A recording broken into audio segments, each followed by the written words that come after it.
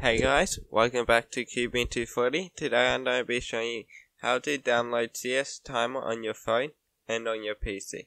So let's get right into it.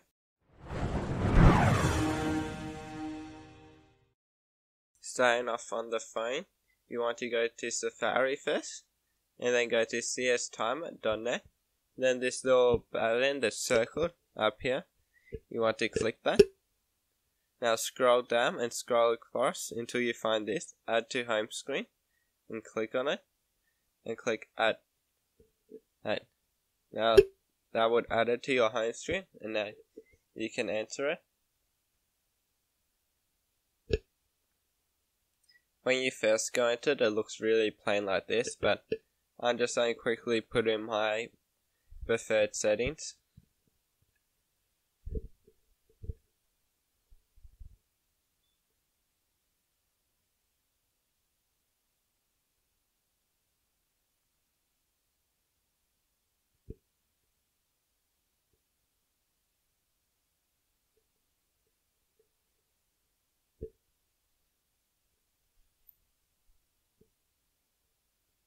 Okay, there we go. I've signed into my Google account and I'm importing my preferred settings. There we go.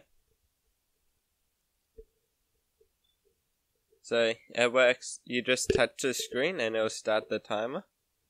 This. So you have inspection and then you can solve it. There we go. That's all there is to it.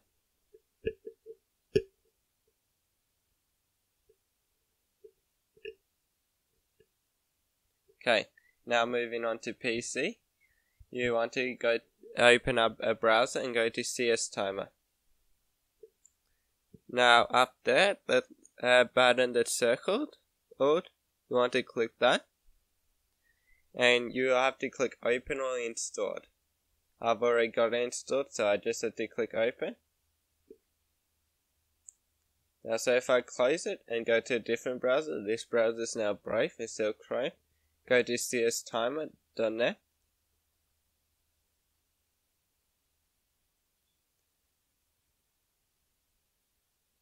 Now see the little plus here now, install CS timer. Then you click install. That's what you have to do if it's not already installed. It only takes a second to install, and there we go. Now you can input your settings which I suggest you doing this if you have it on your phone and your laptop because then you can have the um your um cells go between both your phone and your laptop or your PC or whatever you use.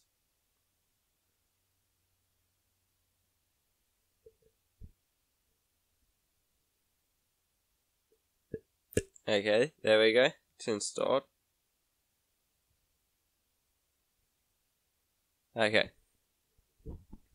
So now, if we're done it, we can pin it to the taskbar, so then it stays there. Then when we close it, it's always there, and we can just open it straight back into CS Timer. Just like that. So you use the spacebar to start it, and just do yourself. Thanks for watching.